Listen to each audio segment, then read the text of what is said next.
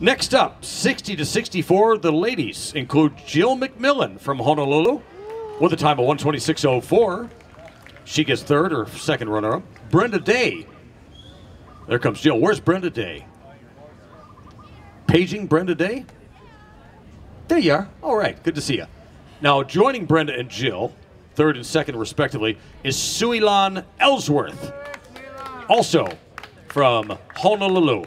Brenda, I should mention, is from Greenway. What does that mean, AC Australia? Uh, Canberra, Australia. Canberra? Canberra? Yep. Nation's The nation's capital. Never heard of Greenway, though. Huh? A suburb, as it were. so there we got two of the three. Got it? Alrighty then. Thank you. Thank you, Todd. He's got the results here to be announced.